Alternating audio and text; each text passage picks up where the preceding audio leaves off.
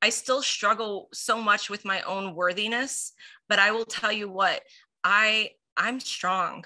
Like and that's not something that I probably could have even said the day of filming. Like I was there, it was so scary. I was moving through the actions of strength, but I sitting here today, I can go, oh my gosh, I nearly lost me. I lost the foundation of who I was. The very fabric that that made Tara Tara was gone.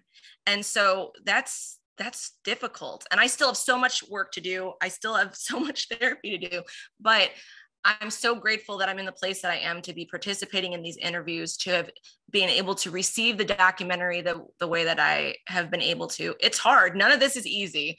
It just. But there's no going back. No,